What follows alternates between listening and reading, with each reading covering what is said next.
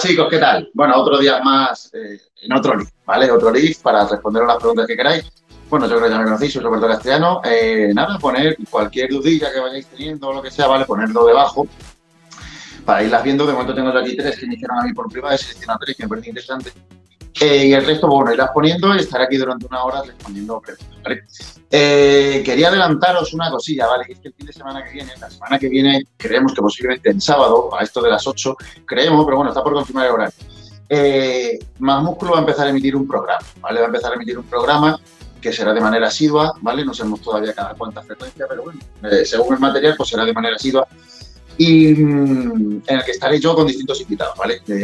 Se tocarán temas de nutrición, temas de entrenamiento, temas de actualidad, de lo que se vaya hablando ahora, se harán entrevistas, habrá una sesión para chicas, bueno, eh, un programa en el que trataremos de hablar de todo eh, de una manera un poco distinta, ¿vale? No que, sea, que no sea muy científico, que no sea muy...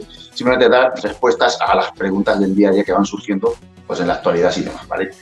Eh, y trataré de traeros, pues bueno, pues, pues, gente que, os agrade escuchar entrevistas suyas y demás, ¿vale?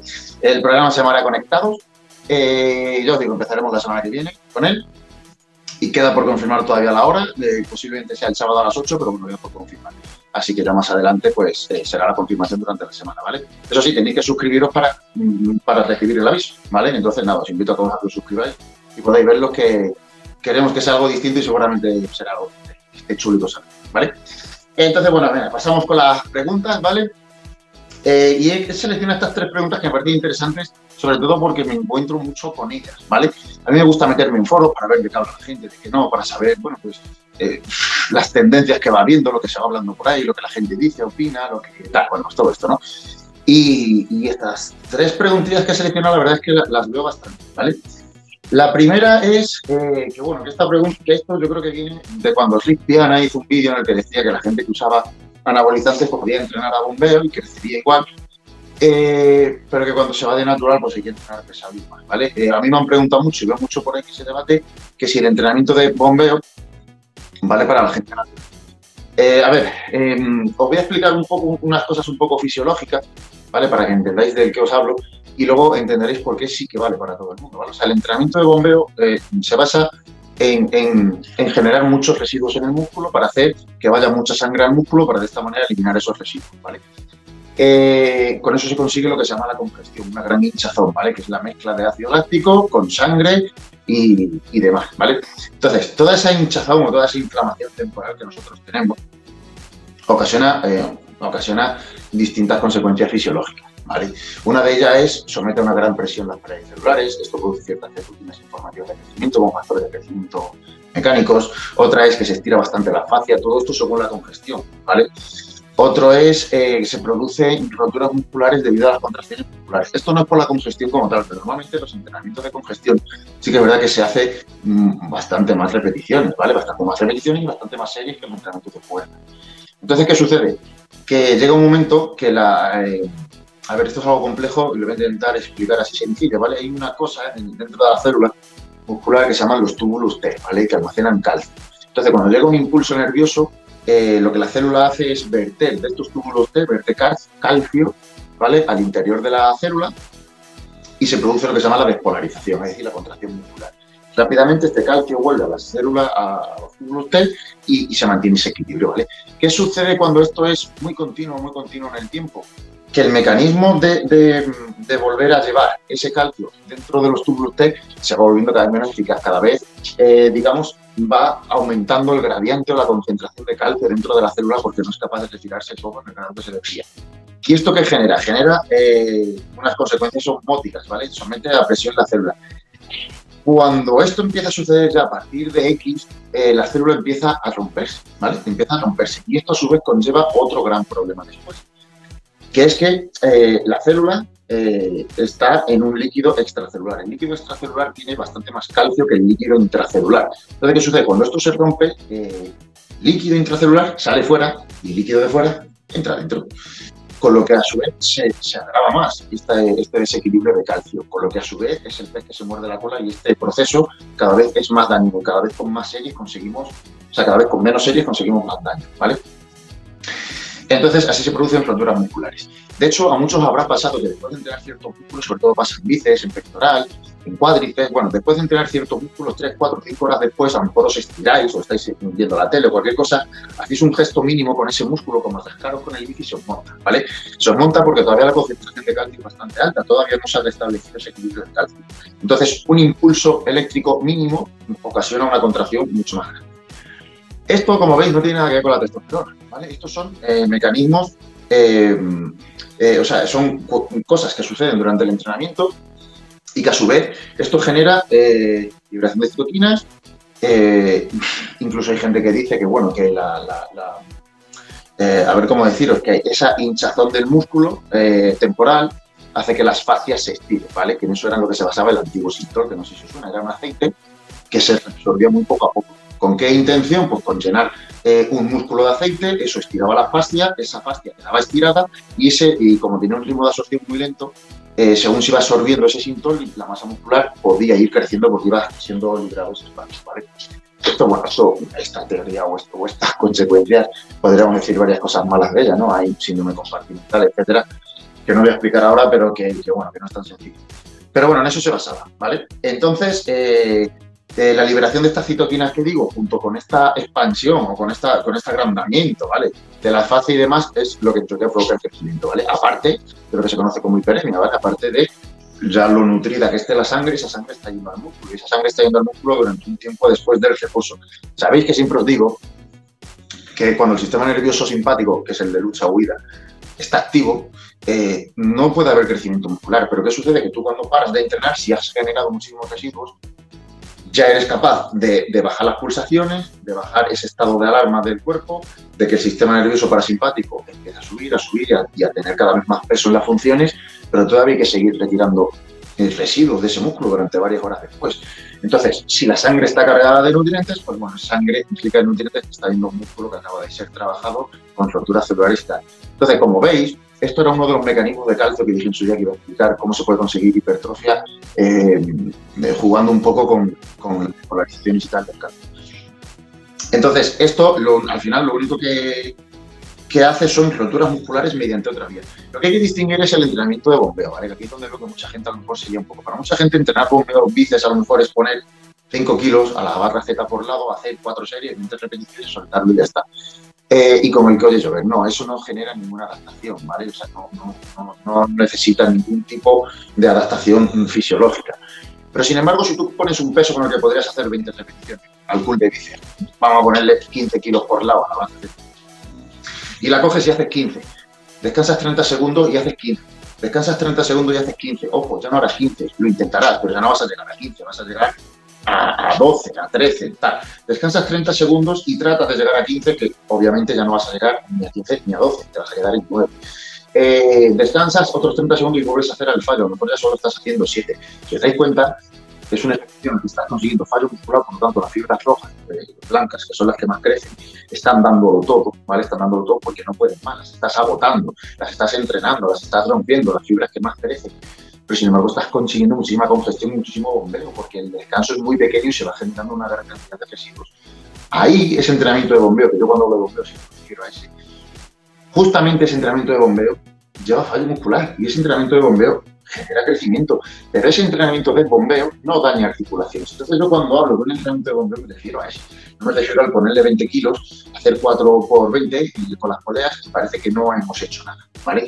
No, eso en todo caso sería entrenamiento degenerativo para un, músculo que tiene una lesión, para un músculo que tiene agujetas si queremos recuperarlo antes, para un músculo que vamos a hacer una sesión de estiramiento si queremos antes trabajar un poco con fuerza resistencia.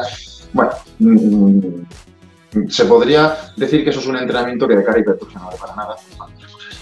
Pero el entrenamiento de bombeo que, al que yo me refiero, que es bombeando, incluyendo fallo muscular, ese sí, ¿vale? O sea, ese sí. E igual que hacer series de 15, al fallo muscular genera un gran bombeo, genera una gran congestión estamos hablando de resistencias de peso del 60-65% porque estás llegando a 15 repeticiones al fallo. Eso genera hipertrofia, ¿vale? Ya es tensión mecánica suficiente.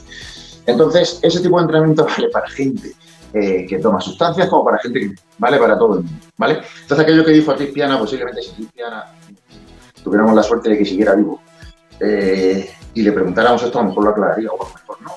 A lo mejor eh, para el entrenamiento de bombeo que yo planteo, es un entrenamiento de bombeo sin más, de hipertrofia, no sé. Pero bueno, a lo que voy a dedicar a la pregunta esta que si el bombeo solamente vale para personas que se ciclan o no se ciclan, etcétera, para naturales no vale, sí, sí que vale. Lo único que tenéis que saber es a qué nos referimos con el entrenamiento ¿Vale? Eh, bueno, pues esa es la primera duda, un poco extensa la pregunta, pero bueno, espero que os haya quedado más o menos Luego, otra pregunta que, que veo bastante por ahí, en la que la gente está muy perdida, la vida más antes, ahora ya cada vez menos. Ahora ya se está tendiendo a la tendencia contraria. Era que si a mayor consumo de proteínas, mayor crecimiento muscular. Y bueno, se ha demostrado que sí, que sí, a mayor consumo de proteínas, mayor crecimiento muscular. Llega un punto en el que hay un punto de inflexión. Es decir, eh, a lo mejor o sea, ya la eficiencia baja. Tú sigues comiendo proteínas y sigues aumentando eh, la tasa anabólica, por así decirlo, en cierta medida, pero ya va disminuyendo, hasta que ya llega otro punto de inflexión en el que ya no se consigue nada más. ¿vale? ¿Dónde están esos puntos? Pues bueno, es difícil saberlo. Eh, podríamos hacer una estimación por, con analíticas por lo que se ha hecho urea y demás, pero mm, es difícil establecer una relación fija para todo el mundo. Pero sí que os puedo decir, por ejemplo, que pasar de tomar un gramo de proteína por kilo de peso a dos músculo va a crecer. De 2 a 3, el músculo va a crecer. De 3 a 4 ya no vais a notar una gran diferencia. De 4 a 5 quizás no notéis prácticamente nada. De 5 a 6 es ya pues, quizás uno de esos puntos de motivo que ya da igual. Para eso se utilizaría como energía, generaría más residuos, más estrés para el cuerpo no tendría más sentido. Pero sí que hay un rango en el que cuanto más va subiendo, más va creciendo, pero no es de manera lineal, ¿vale? Va decayendo eh, esa progresión poco a poco. creo que esto es un poco lógico. Y luego también hay que verlo enfocado a la, a la nutrición general, es decir, no es lo mismo 300 gramos de proteína cuando estamos acompañando con 600 hidratos al día que 300 de proteína cuando solo lo acompañamos con 60 de grasa, por lo tanto, pues no, no, está claro que la, la, capacidad de anabolismo de una dieta y de otra no Entonces, bueno, estas preguntas siempre son muy abiertas, pero en general, en general, a más proteínas, más crecimiento, hasta un punto en el que ya no por más es mejor, ¿vale? O sea, crecería de manera lineal, o sea, de manera no lineal, hasta un punto en que ya ¿vale? Eh, vale, otra pregunta, esta pregunta además es curiosa, me, preguntaron que si existe un, intraentreno perfecto. claro, intraentreno perfecto no existe. Intraentreno significa una, bebida que tomas durante el entreno, pero es lo mismo un entrenamiento de bombeo, como te he dicho antes, un entrenamiento de fuerza, en el que espaciamos los descansos 3, 4, hasta 5 minutos de los ejercicios. Por lo tanto, la activación el sistema nervioso simpático es mucho menor, menor producción de dopamina, menor producción de, catecolaminas en general, dopamina, etcétera, eh, es bastante menor. Eh, ¿El es igual? No, ¿por qué? Porque en un entrenamiento de fuerza, ¿vale? Eh, el sistema nervioso parasimpático está, digamos, menos suprimido, para hablar así, un poco, un poco allá, está menos suprimido que en un entrenamiento, por ejemplo, de series ¿vale?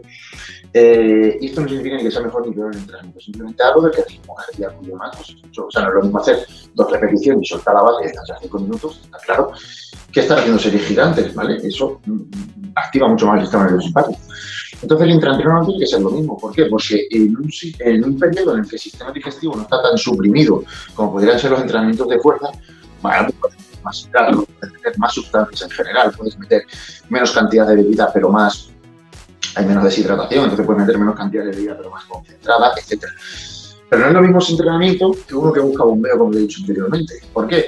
Porque en uno que busca eh, lo que yo he dicho, generar residuos, pues ya habría que plantearse si quizás meter sustancias que eliminen esos residuos o que ayuden a eliminarlos sería lo óptimo. En mi opinión, pues quizás sí. ¿Por qué? Porque así podríamos congestionar, pero con cargas mayores, porque las Entonces, a mejor recuperación, se mete más peso, más carga mecánica, pero yo sigo haciendo el mismo sistema de entreno, por lo tanto sigo congestionando lo mismo. Entonces, para mí sí, pero claro, ¿eres capaz de digerir tanto como en el otro entreno que son 5 minutos entre series? No, el sistema digestivo está mucho más parado, entonces mmm, tendrá que ser una bebida mucho más diluida y mucho menos concentrada en nutrientes. Eh, tendrá que ser una bebida con una concentración, algo deciros, con una concentración de electrolitos muy distintas, ¿vale? Cuando tú quieres bombear, una de las cosas que más te hace bombear, además es muy barato, muy fácil de conseguir, todo el mundo tiene sal, sal, sodio, ¿vale? O sea, mucho líquido, con mucho sodio, con entrenamiento de altas repeticiones, el músculo duele muchísimo, ¿vale? Entonces, eh, no es lo mismo eso que un entrenamiento de fuerza, que en un entrenamiento de fuerza la congestión cuanto menos sea, mejor. ¿Por qué? Porque la congestión supone también una carga mecánica para el cuerpo. O sea, una carga mecánica me refiero, las masas están duras. Cuando tienes un músculo contraído, está duro, ¿vale? Entonces tienes que vencer esa fuerza también a la hora de el gesto. Entonces no es lo mismo hacer cuádriceps congestionado, que parece que te está reventando, hacer cuádriceps con el, con el, con el femoral eh, elástico, iba a decir, pero no es elástico, sino flexible, ¿vale?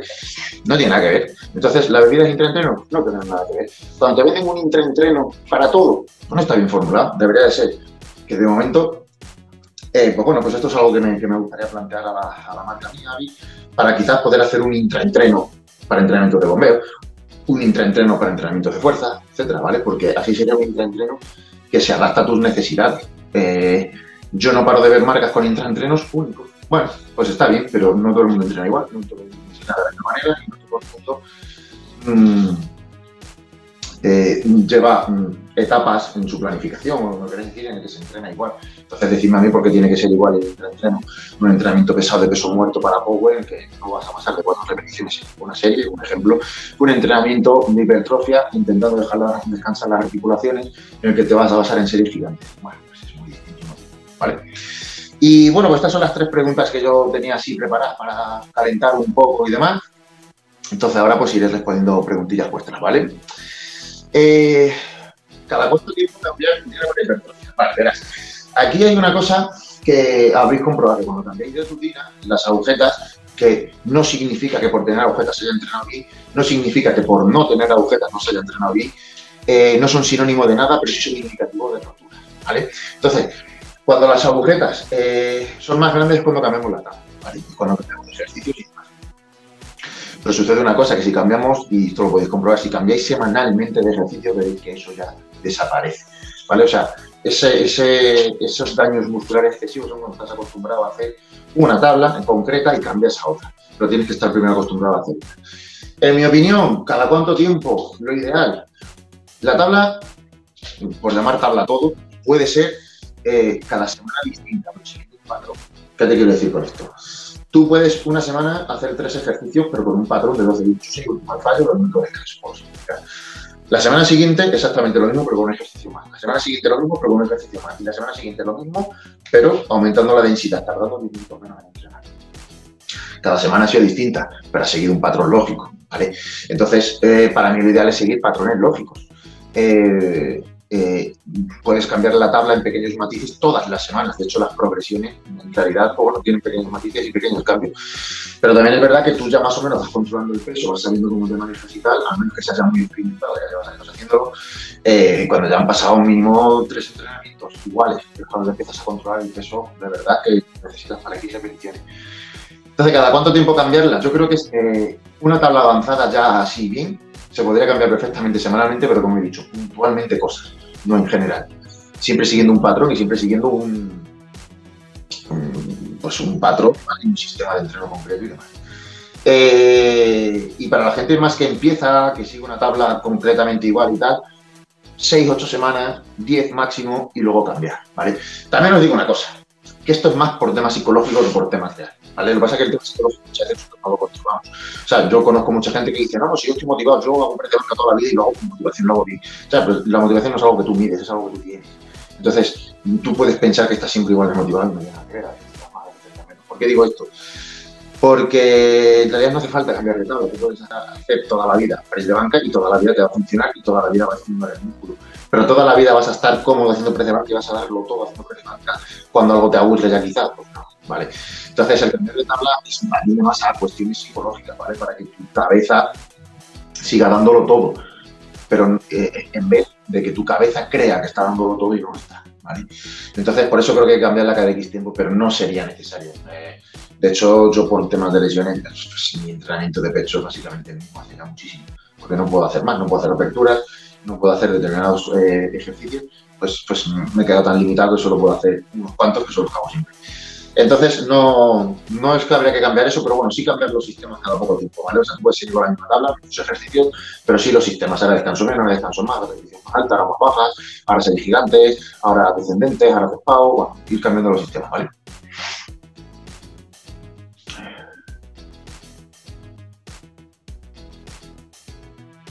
Claro, sí, combinaciones esenciales, claro que tiene un papel fundamental en, en, la síntesis proteica. Vamos a ver, hay que tener en cuenta lo que significa aminoácido esencial y no esencial. Aminoácido no esencial significa que el cuerpo lo puede producir, pero ¿de dónde lo produce? De otros aminoácidos. Es decir, eh, que un aminoácido, el cuerpo, o sea, la glutamina, el cuerpo es capaz de producirla. Pero claro, para conseguir ese aminoácido, tiene que conseguir esos sustratos mediante reacciones a través de otros aminoácidos. ¿vale? Entonces, si tú no metes todos los aminoácidos, tendrías una necesidad enorme de aminoácidos esenciales que son los que el cuerpo no puede producir. Nosotros los podría producir, pero haciendo ciertas reacciones que sería mucho más limitado. Cuando tú tomas una proteína completa, le aportas todos los aminoácidos. No le obligas a, a tener que producir los no esenciales. Eh, pero cuando tú no se los metes, le estás obligando a producir los no esenciales y eso tiene un coste, que es a coste de ciertos esenciales también. Entonces, sí tiene un papel importante, claro. O sea, los aminoácidos esenciales pueden subir el valor biológico, pueden, tienen muchas funciones, pero los esenciales también, entre otras cosas, porque necesitamos calorías. Si no consumiéramos aminoácidos no esenciales, las calorías serían muchas menos. Que bueno, que puedes decir, el consumo de hidratos son más fáciles de poner y digerir, sí, pero entonces es lo que te estoy diciendo. Tendrías que subir la ingesta de los esenciales muchísimo y no merece ya la pena.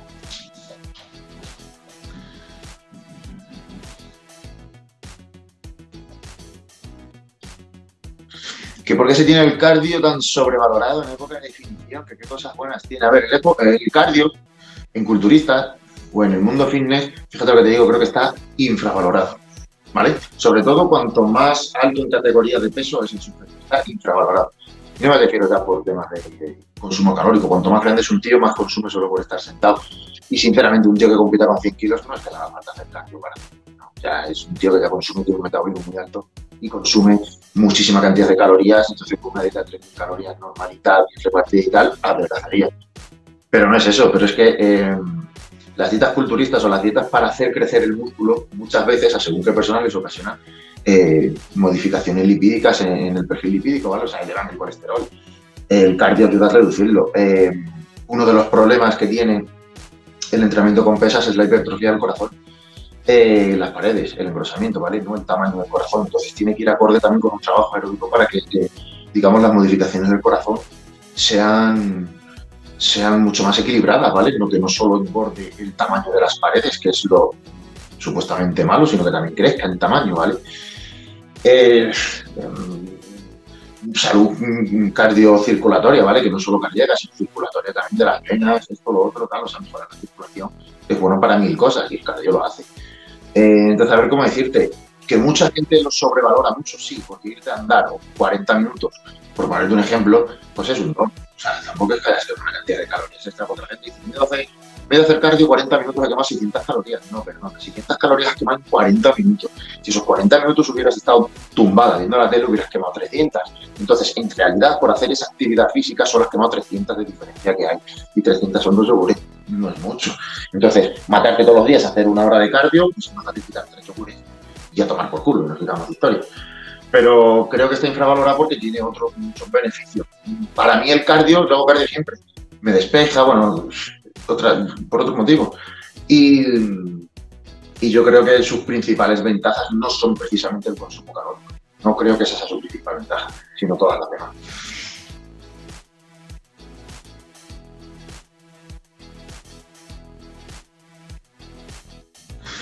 ¿Qué pasaría si entrenas el mismo músculo dos días seguidos? Pues en realidad no pasaría nada o te lesionarías, depende.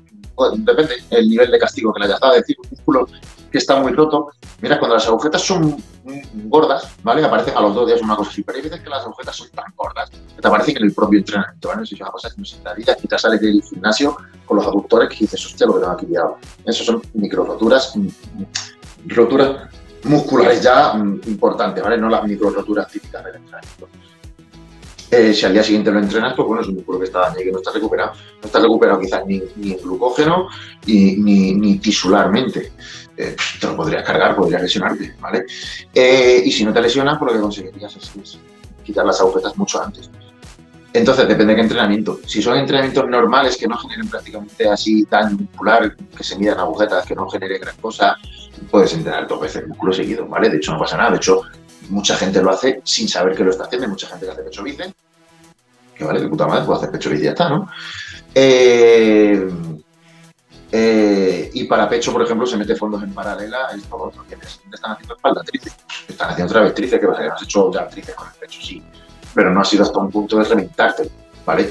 Entonces, entrenamientos muy intensos dos días seguidos puede tener más cosas que para entrenamientos livianos dos días seguidos, ya que que muchísima gente lo está haciendo, no se está dando cuenta Simplemente con un día hagas pecho bíceps con ejercicios básicos y al día siguiente espalda tríceps con ejercicios básicos ya estás tocando los músculos varias veces. Puedes hacer hoy pecho, por ejemplo, puedes hacer hoy pecho y mañana para espalda te metes un montón de series de pullover que también toca el pecho y tampoco pasa nada. Entonces, según la intensidad por la que lo hayas hecho.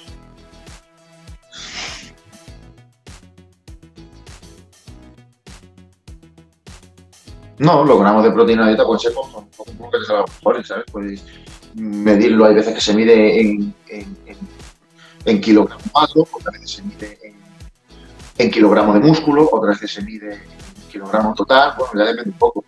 Eh, es muy distinto un kilogramo magro que un kilogramo de músculo, ¿vale? O sea, el tejido magro es todo el tejido del cuerpo menos el tejido adiposo se acabó, ¿vale? En el tejido magro entra las uñas, entra el pelo, entra la, piel, entra las vísceras, todo eso es tejido magro, ¿vale? Es tejido libre de grasa. Y tejido muscular es el músculo contráctil, o se denomina músculo contráctil. Luego hay músculo eh, liso que no controlábamos y demás, pero bueno, sobre todo músculo contráctil. Se puede medir de muchas maneras. En mi opinión, yo creo que el medirlo es un poco absurdo.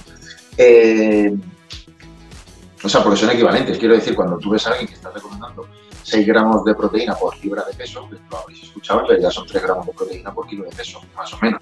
Cuando estáis escuchando a alguien decir 2 gramos eh, por kilogramo magro de peso, pues como 2 gramos por peso corporal, es decir, da igual. Eh, eh, a ver cómo decirte, lo que tienes que saber es adaptarlo al momento y ya está. Es, más, es mejor que pienses cuánto desgaste tiene, cuántas series haces, cuánto entrenas, cuánto te destrozas, que no cuánto pesas. ¿Vale? Eh, es mejor que mires el consumo proteico así. A ver, si te digo de aquí la chapa de lo que sería ideal, pues bueno, necesitas de urea y ves si tienes la urea alta y ya está. Entonces ahora hasta qué punto estás asignando la proteína. Si tú tienes la urea en rangos normales, que todo está bien, y estás comiendo 6 kilos de proteína por kilo de peso, ¿qué estás haciendo mal? Nadie, ¿sabes? Entonces, bueno, dependería de muchas cosas. Y si puedo dar mi opinión de la creatina, sí, la creatina es uno de los pocos suplementos que todos los estudios acaban concluyendo con que es eficaz, que tiene mil estudios, que se han sacado mil... A ver, cuando algo lleva en el mercado 30 años, es que funciona. Eh, lo que podemos dudar de lo que sale al mercado y desaparece, sale y desaparece, sale y desaparece. O sea, eso es de lo que podemos dudar, ¿vale? Pero de lo que lleva ya en el mercado años y años. La creatina como tal, a nivel fisiológico, ya se entra en estudios, hay estudios que demuestran o dejan de demostrar, a nivel fisiológico está claro, es un alfóforo, aumenta las reservas de fosfocreatina, que es el depósito de energía de los fosfágenos, que es el de las series normales de pesa, por así, más o menos, por así decirlo. Entonces sí, es eficiente, ¿vale? Es eficiente, luego también ha demostrado otra serie de cosas, ¿no? Como que, bueno, el catabolismo, esto, lo otro. Bueno, promueve la hidratación celular, tiene muchas cosas buenas. De ahí a que a lo mejor pensemos que es la hostia, pues tampoco, o sea, es un suplemento funcional, tampoco es más. Pero desde luego, claro que funciona, o sea, y, ya te digo que Normalmente, ¿eh? normalmente. Cuando determinados eh, concentrados alimenticios, ¿vale? Como la creatina o sea, cuando determinados suplementos se suelen meter a lo mejor en preparaciones hospitalarias o en preparaciones para gente adulta y tal, es, bueno, está clarísimo que demostrar que funciona.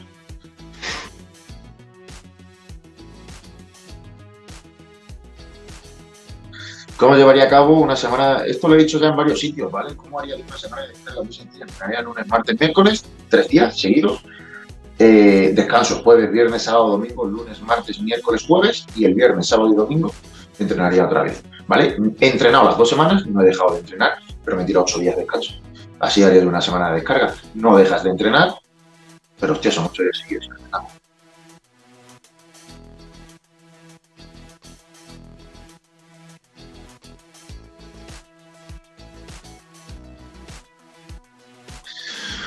A ver, que si considero para las chicas una dieta alta en grasa, tanto en volumen como en nutrición. A ver, este tema sería muy extenso, ahí tampoco me quiero sacar mucho.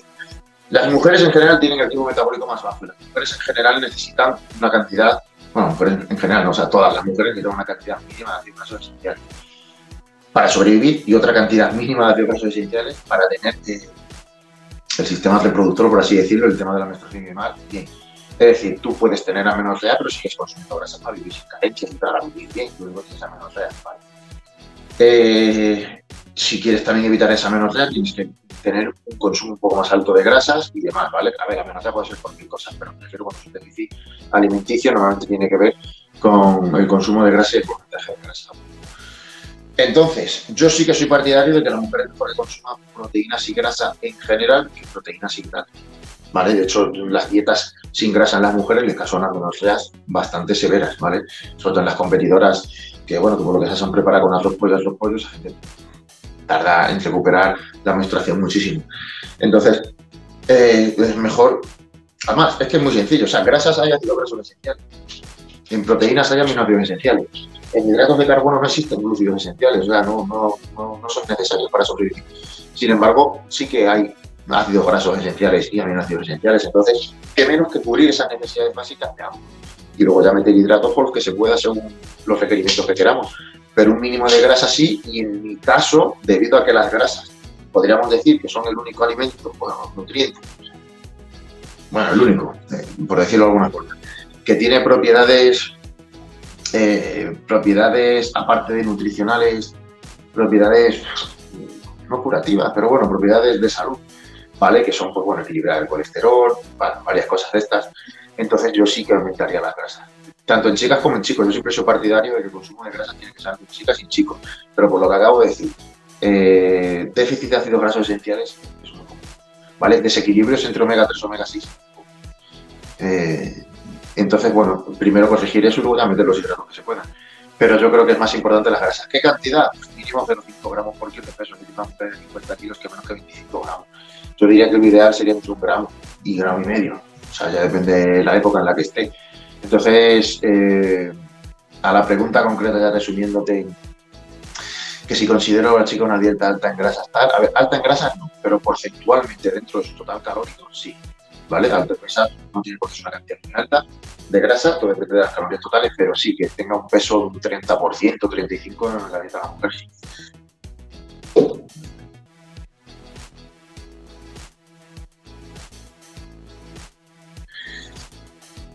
No, a ver, no es que debas de cambiar la forma de entrenar según la edad. La edad no es el segundo, pero tienes que cambiar la forma de entrenar según el castigo que tenga tu cuerpo. ¿Por qué te digo esto? Hay mucha gente que tiene 45 años, pero no ha hecho pesas en su vida, entonces empieza de cero. Pues está, estás virgen, tienes las articulaciones bien, pues mientras que no te dé problema puedes entrenar pues, con un chaval de 20, por así decirlo. Aunque no te vas a recuperar igual y demás, ¿vale? O sea, por eso ya te lo va marcando el cuerpo. A lo mejor hay gente de 45 años que recupera mejor que otros chavales de 20. Eso tampoco es algo universal pero en general tienes que ir cambiando la manera de entrenar según te vaya permitiendo el cuerpo. Y en una progresión lineal, a mayor edad, más tiempo entrenando, más castigos llevas. Eh, castigos me refiero a desgaste, y demás, entonces sí hay que ir modificando. ¿Vale? Pero no significa, a lo mejor un tío de 30 años tiene que estar entrenando como otro de 60. ¿Pero por qué? Porque uno empezó a los 12 años y otro empezó a los 30. ¿Vale? Entonces, bueno, no es tanto la edad, es la edad deportiva. ¿Vale? Cuanto más edad deportiva vas teniendo, pues sí, hay que irlo modificando.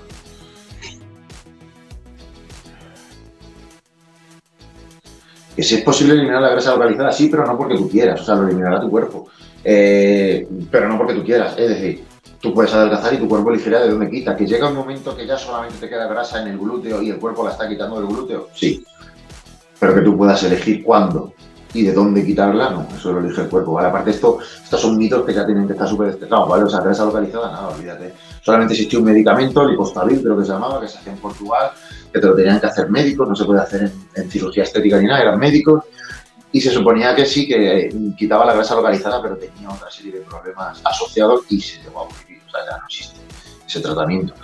Y, y, es que de nada te sirve romper las moléculas de grasa del adipocito si luego no las quemas. ¿Qué te quiero decir con esto? Que de nada te sirve mm, eh, que haya algo que te diluya la grasa o que haga que los adipocitos suelten la grasa, etcétera, de una zona concreta si luego no se está quemando. Al final es el déficit calórico. ¿Y de dónde lo quita el cuerpo? Pues de donde él quiera. Eso ya es la genética la que manda y ahí no queda que conformarnos con ello. Y olvídate de que hacer muchas abdominales te va a quitar la grasa del abdomen, de que hacer mucho culo te va a quitar la grasa del culo. No, olvídate eso, ¿no? Una cosa es trabajo muscular y otra cosa es que esos depósitos de energía que están adheridos a esos músculos que trabajas estén quemando, ¿no? O sea, se queman los ácidos grasos que están en la sangre no los ácidos grasos subcutáneos que están encima del músculo.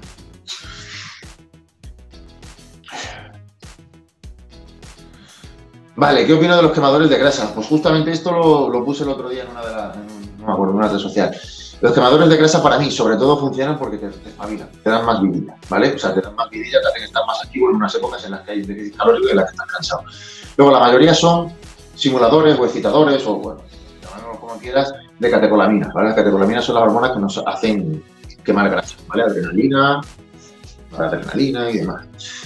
Entonces, claro que tienen su función, el problema es que el cuerpo se acaba habituando como a todos los estimulantes. Eh, para mí, su principal función es que ya cuando estás cansado, te dan pues, chispilla, ¿vale? Durante todo el día para que no te sientas tan agotado.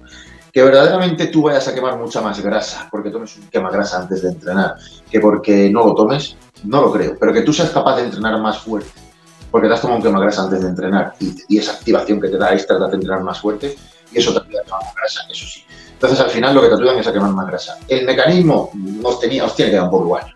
¿vale? Te tiene que dar un poco igual si es porque te acelera a ti, porque te acelera las pulsaciones, porque hace que el adipocito se libere más fácilmente de la grasa por la acción de más adrenalina, porque lleva cafeína y eso tapa los receptores de adenosina y te sientes cansado. Yo creo que buscar tanto el motivo por el que te hace quemar grasa es un poco quitando gente como nosotros, que a lo mejor nos interesa saber los por qué, pero para la gente normal mm, le tiene que dar un poco igual, lo que le tiene que interesar es el resultado y el resultado es que sí ayuda a quemar más grasa.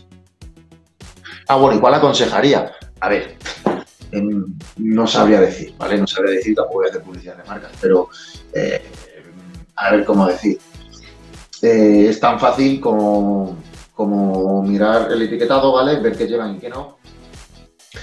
Y ver cuál te sienta mejor a ti. Te digo esto ¿por porque hay uno muy famoso que no voy a nombrar, porque por ejemplo sé que sienta muy mal a mucha gente. Muy mal, pero mal de no poder dormir e incluso ganas de vomitar. Pues está claro que ese te va a hacer adelgazar, pero de una manera quizás no muy lógica. Y luego hay otros que, que, no llevan gran cosa, ¿vale? Eh, pero es a lo que vamos. Tiene que adaptarse a ti eh, y no hay ninguno mejor que otro. También depende un poco de tu sensibilidad. Es decir, si eres una persona que nunca toma estimulantes, mejor que empieces por uno flojito. Y ya según vayas habituándote a él, ves metiendo otros más fuertes. ¿Por qué te digo esto? Normalmente todo el mundo tiene la manía de decir cuál es el mejor, el mejor es el más fuerte, y cuál es el más fuerte, este pues es el que empieza a tomar. Ya, pero a lo mejor ese no te deja dormir, ese no te deja estar bien, ese no te deja, incluso te pueden dar náuseas. ¿eh? Entonces, bueno, tampoco es eso. Entonces, ¿cuál es el mejor? A ver, no te puedo dar ningún nombre porque no creo que haya uno mejor. Creo que quizás haya uno mejor o peor en según qué función, ¿vale? En según qué momento concreto, en según qué tal. Eh, pero no, no te puedo decir uno en concreto porque tampoco, pero que exista uno que sea el mejor.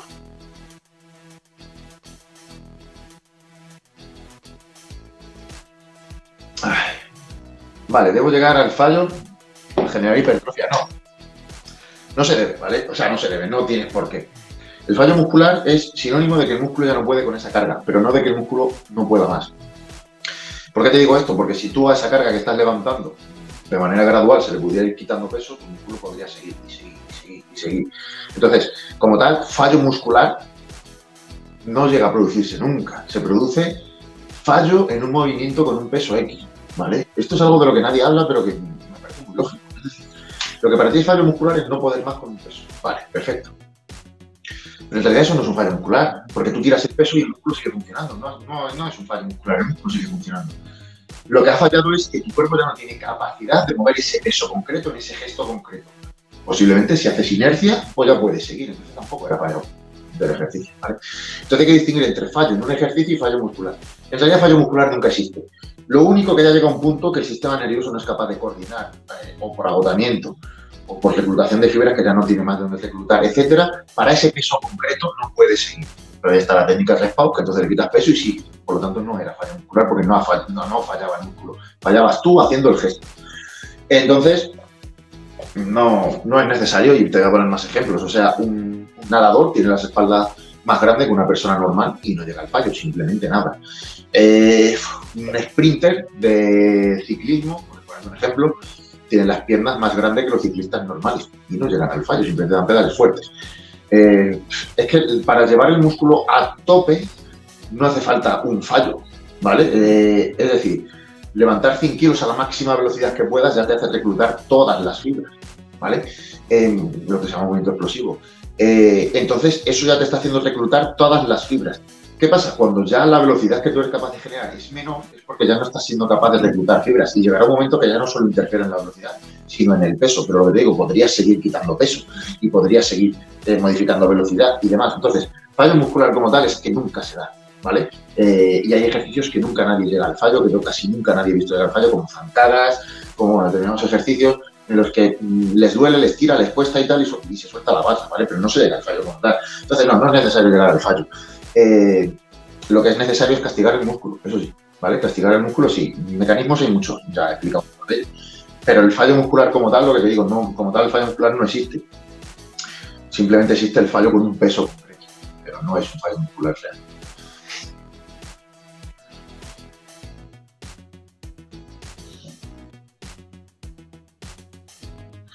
No, no le daría ninguna importancia al dormir en el desarrollo muscular. Eh, a ver, a ver cómo, cómo decir esto.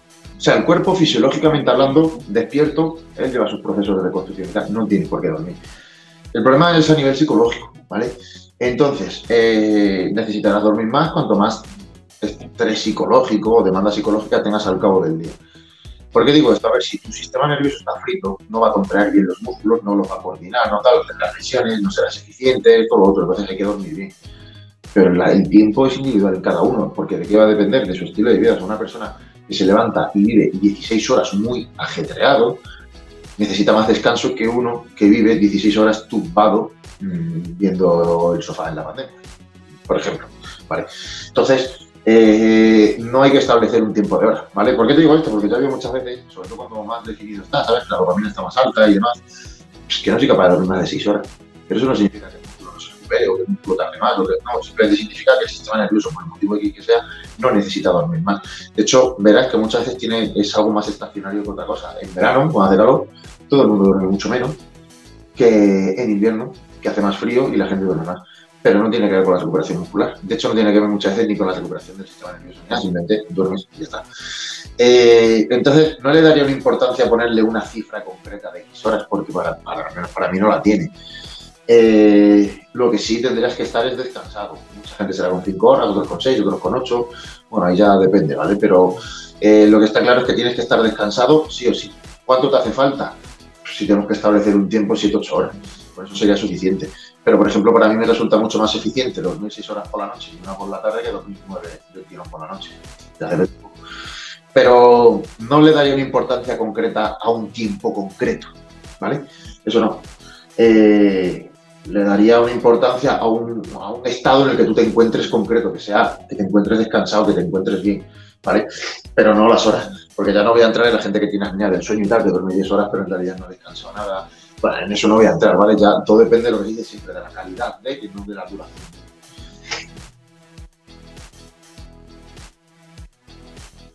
Vale, a ver, ¿cuál es la forma correcta de tomar los aminoácidos? aquí, claro, aminoácidos hay un montón. No sé cuáles te estás refiriendo y forma correcta para qué objetivo. Eh, tampoco lo dices. estas preguntas son muy abiertas. Para mí los aminoácidos son completamente absurdos e innecesarios siempre que el consumo total de proteínas del día sea Ya está, ¿vale? Que luego queremos aminoácidos concretos para determinadas funciones concretas, como meter BCAAs antes de entrenar para impedir catabolismo, por ejemplo. Como meterlos durante el entreno, ¿sabes? Para evitar una descompensación con el triptofano y que tengamos ahí un poco más de vidilla y energía entrenando, por ejemplo como meter esenciales entre comidas o con las comidas para elevar el aminoácido esencial limitante. Yo esto lo veo una práctica cojonuda. Que, que los queremos meter, mm, no sé, incluso he visto gente pues, que los mete con los batidos, ¿vale? Que mete un poco de esenciales y luego mete proteína de asimilación lenta para tener las dos cosas, ¿no? Una asimilación muy lenta, pues, bueno, también se puede hacer.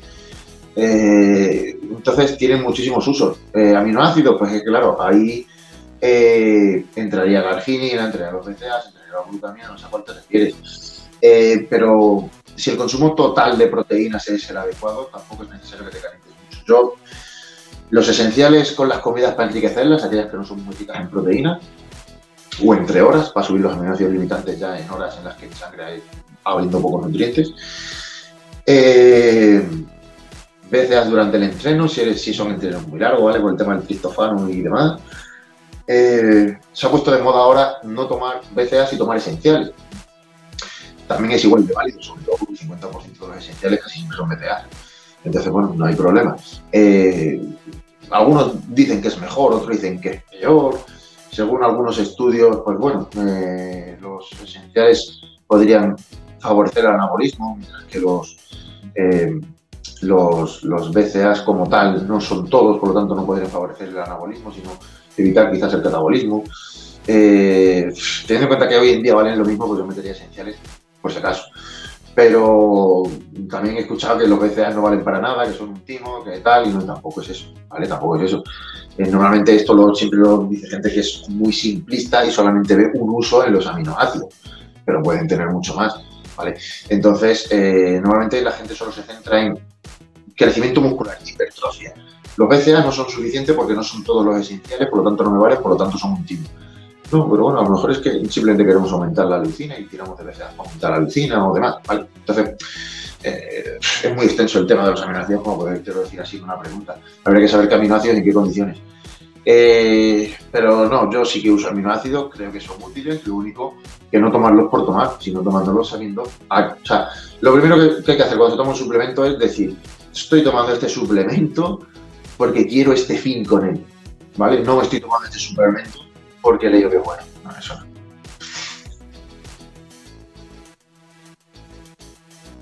La fibra perjudica la absorción de proteínas. no, pero sí que perjudica la absorción de otras cosas, sobre todo minerales. Eh, yo no soy muy partidario de fibra. En dietas, por ejemplo, en dietas en las que el volumen de comida es bastante grande, que se genera mucho eh, residuo alimenticio, no veo muy, muy bueno meter mucha fibra, ¿vale? Eh, porque ya el tracto, el digestivo va lo suficientemente bien como para tener que meter fibra. Eh, en dietas de muy pocas calorías, pues sí, se mete fibra sobre todo para saciar, para mantener un poco la salud intestinal, para evitar pues, el estreñimiento y demás. Eh, pero claro, muchas veces hay muchos problemas, ¿no? Mezclamos mucho. Por ejemplo, la típica por ejemplo, ensalada con ternera, pues no es una comida mala, ¿no? No es nada malo. Lo único que el hierro se absorbe muy mal, se absorbe muy mal, ¿vale? El hierro se absorbe únicamente un 2% el hierro normal vegetal y un 10% el, hierro si no me equivoco, ¿vale? Estoy hablando de vidas, pero si no me equivoco creo que es así. Si ya le metemos fibra que dificulta la absorción de hierro con la ensalada, pues entonces una de las cosas buenas que tendría eh, la carne roja, que es el hierro, absorbible, lo estamos quitando. Pero ¿qué sucede en aquellas personas que tienen el hierro alto? Que también las hay. ¿Qué sucede en aquellas personas que tienen el hierro alto? Porque comen muchísima carne roja. Pues quizás esa ensalada con esa fibra le viene bien porque así no asimila tanto hierro. ¿Vale? O sea, de una de las consecuencias de tener la ferritina muy alta, por ejemplo, es cansancio. Entonces, veis cómo una misma cosa puede ser algo bueno o algo malo. Una persona que hace cinco comidas al día de carne roja, pues mezclarlo con fibra puede ser bueno para no absorber tanto hierro una mujer que no come casi carne roja, encima tiene la menstruación, pues posiblemente sería mejor que no mezcle la carne roja con fibra, con una ensalada o con un ejemplo, porque le va a dificultar la absorción Entonces, mm, si os dais cuenta, no hago una, o sea, no os doy una respuesta completamente clara sobre algo. Eh, más bien quiero que penséis, ¿sabes? Que una misma cosa puede venir bien o puede venir mal. No hay que ser tan cerrados en la vida de decir esto es bueno o esto es malo, sino esto es bueno para esto o no, pero para completo. Y yo, por ejemplo, la fibra, no, a mí la fibra me dificulta mucho la digestión, yo intento comer la menor cantidad de fibra. Y por los clientes con los que tengo y tal, la mayoría de ellos, las cosas con mucha fibra, es decir, arroz integral, legumbres integrales, pan integral, todo eso les dificulta mucho más la digestión, les estar más pesado, les estar peor que comiéndolo todo refinado. ¿vale? Entonces, como al final, aunque tú comas pan blanco, tiene el índice glucémico más alto, porque ya lo estás mezclando con carne, lo estás mezclando con grasa, lo estás mezclando con verdura, lo estás mezclando con más cosas, pues en realidad al final la absorción es lenta, o sea, no, tiene, el índice glucémico se va a la mierda, o sea, la carga glucémica no corresponde para nada con el índice glucémico. Entonces, al final se puede comer, cuando todos los nutrientes están en una misma comida, al final se puede comer todo sin fibra, ¿vale? Entonces, una cantidad mínima de fibra, sí. Una cantidad excesiva de fibra, más bien mal.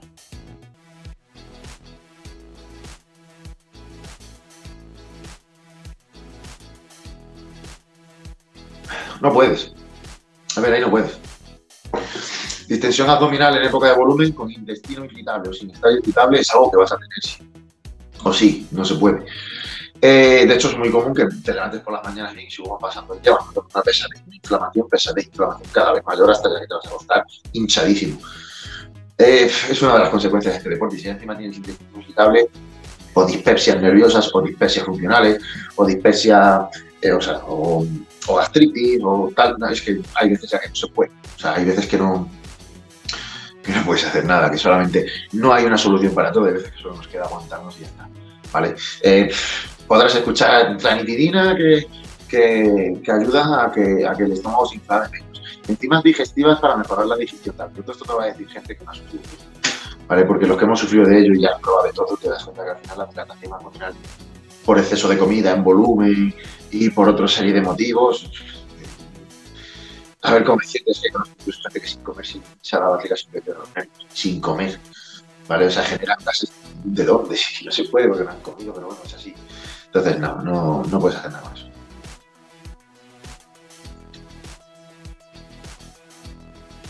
A ver, esta pregunta, ¿es posible secar en dos semanas de forma natural? Es que no sé qué te secar. Con secar te refieres a perder 16 kilos de grasa, no, Si con secar te refieres a eliminar agua extracelular y demás, sí, eso sí. Pero secar concreta, para mí secar es ya eliminar el agua. Entonces, eliminar el agua en dos semanas. Ahora, hacer una definición en dos semanas, no, olvídate. hay cosas que son solo tiempo, quemar calorías procedentes de la grasa es a base de tiempo, ahí no tienes más historias.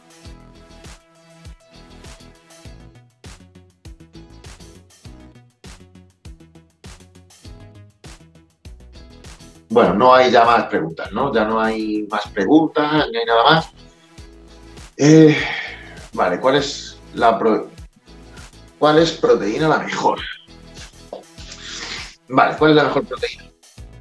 Para mí, el aislado, ¿vale? De calidad, es decir, los aislados en el mercado Yo voy a hablar de lo que es el principio activo. Para mí lo mejor es el aislado. ¿Cuál es el problema del aislado? Cantidades muy grandes llegan muy de golpe a la sangre y quizás no se aprovechen todas. Eh, esto la gente normal que pesa a lo mejor 70 o 60 kilos no tiene ese problema, ¿vale? Batido de 40 gramos y ya está, no ese problema. Quizás tenga más problema pues la gente, a lo mejor que pesa más y venga, batido de 100 gramos de proteína aislado, pues bueno, eh, eh, quizás no sería la mejor. En ese caso a lo mejor sería secuencial. Pero claro, aquí ya luego podemos debatir, no, pues un aislado lo metes con verdura y ya está, y al final se digiere más despacio. Sí, pues bueno, también, también es verdad. O simplemente un aislado de 100 gramos, pues en vez de tomar todo el golpe, tómate ahora eh, un tercio, a los 15 minutos otro tercio y a los 15 minutos otro tercio. Sí, también, igual, ¿sabes? O sea, te has tomado 100 gramos repartido en 45 minutos, pues ya está, no pasa nada, ¿sabes? Pues está bien hecho. Eh, la de caseína es mejor porque se absorbe más despacio, esto, lo otro.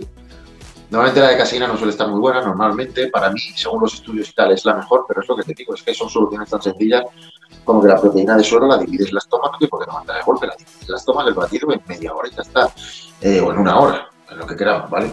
Eh, la proteína de caseína, por ejemplo, sí que según los estudios ha demostrado que es mejor que te tiene más nitrógeno, aunque tiene menor valor biológico, el, proceso de liberación es mucho más eficiente, por lo tanto el cuerpo absorbe más. Pero es lo mismo que hemos dicho antes, ¿vale? Para batidos muy grandes, pues sí, tiene sentido. Para batidos pequeños, si van a aportar el batido 32 gramos de proteína pura, da un poco igual que sean más de golpe o menos, ¿sabes? Tampoco importa tanto. Eh, Luego la de soja, guisante y tal, bueno, ya tienen menor valor biológico. Aparte de eso, de sabor son muy malas. Eh, y tienen una digestión más intermedia. Pero es que el, tema de la digestión no te quiero decir, o sea, si vamos a medir una proteína su calidad por la digestión, si es más rápida o menos, es, tenemos las soluciones tan sencillas como las que he dicho. Entonces, eh, para mí la mejor proteína es la que mayor, mayor, mayor valor biológico tenga, y es la de suero, luego le han hecho distintas versiones, ¿vale? Entonces, para mí esa sería la mejor.